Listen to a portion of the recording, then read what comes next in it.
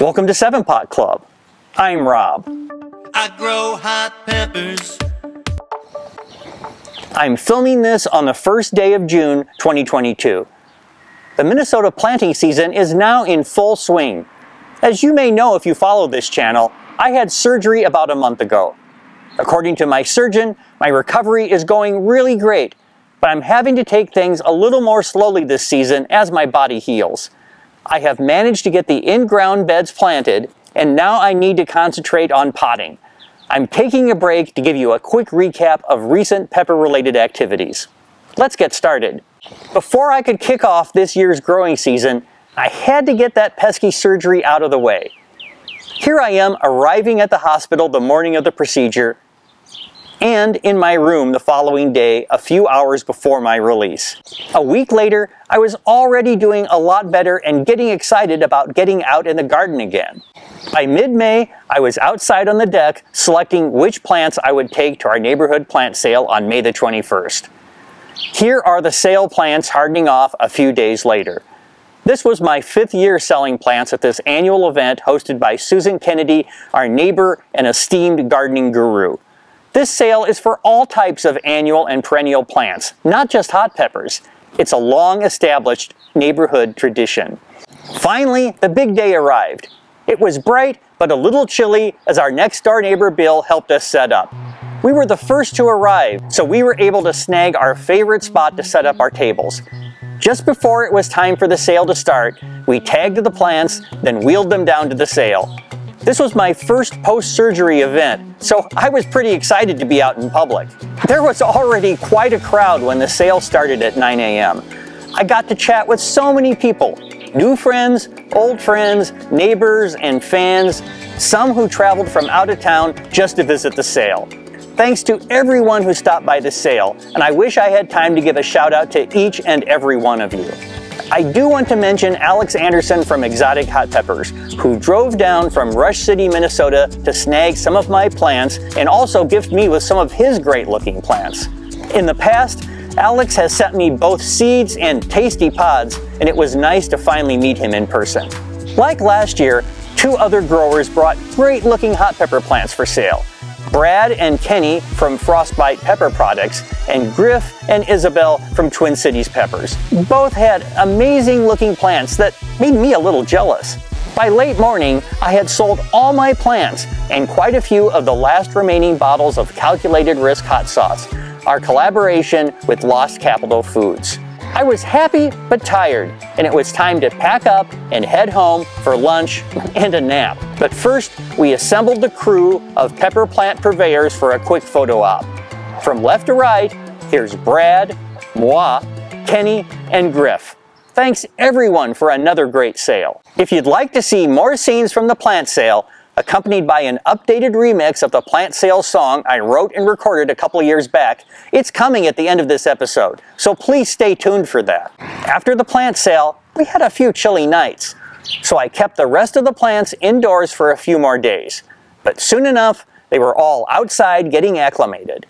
When it was time to start potting, I uncovered the huge pile of potting soil taking up a good portion of our driveway. It certainly makes sense that there would be seeds inside a pile of used soil. It also makes sense that seeds close to the surface of the pile would sprout. The only thing that surprised me was the distance these sprouts would travel in a valiant yet unsuccessful attempt to find light. So, I filled a wheelbarrow with soil and it was finally time to pot up the first plant of the season. If you follow this channel, you've seen me do this many times before. To each pot, I'll add a couple of cups of Fishnure Organic Fish Manure Humus Compost. I'll also add a tablespoon of Epsom salt to supply magnesium. Now, I'm not really sure if this small amount really does anything useful, but it's been part of my ritual for quite a few years. Same thing with the tablespoon of blood meal I add to each pot. Although blood meal is a good source of nitrogen, the main reason I add it is because rabbits have not bothered my pepper plants ever since I started using it. Whether the blood meal is truly responsible or not, it's a strong motivation to keep using it.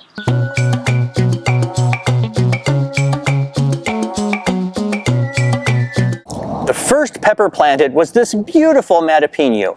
a really unique jalapeno variant discovered and nurtured through multiple generations by Matt Ohlendorf from mattspeppers.com. The plants have white or white and green variegated leaves and pods.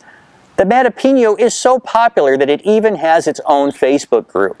Matt and others are crossing it with other varieties to create even wilder variations. I hope to grow some of those variations next season. Every year, I line up these ceramic pots on the stone shelf at the head of our in-ground beds after filling them with some of the showiest varieties of the season. These pots are pretty heavy, and substantially heavier filled with soil. I'm under strict orders to take it easy on the lifting for a while. So this year, I first placed the pots on the shelf, then brought the soil and plants to the pots. It meant I could do this without asking for help, and I could even sit in a lawn chair while doing it. This row features Vampire, Reaper Sbagliato, Venezuelan Purple Variegated, Mutant Candlelight, Capsicum Rhomboideum, another Mattapeño, and Blue Christmas. The lawn needs a good mowing, but you should have seen it a couple of days ago. We decided to participate in No Mow May, where you don't mow your lawn during the month of May in order to maintain habitat and forage for early season pollinators. I finally caved on May the 30th and cut it back. It was way too tall for our push mower, so I had to cut the entire yard with my electric hand shears. Then I took a well-deserved nap. I also needed a rest after my labors yesterday, planting 41 plants in these ground beds. I've got a long way to go, but getting this task completed gave me a good feeling of accomplishment. I'm taking a little break to shoot and edit this video, then I'll be back at it. I'll be doing fewer pots than last year, but probably still at least 150 or so. Watch for more updates over the course of the season. Visit the 7 Pot Club Amazon page to find many of my favorite gardening products. I earn from qualifying purchases, so thanks for supporting this channel. Now, more footage from and tunage about the plant sale. We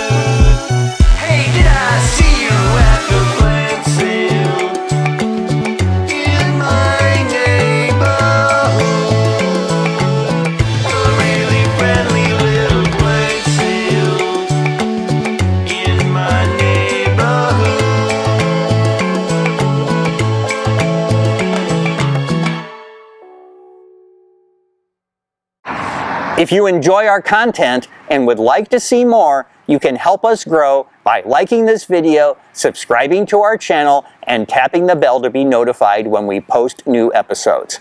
Check out all our merch at 7pot.club slash merch.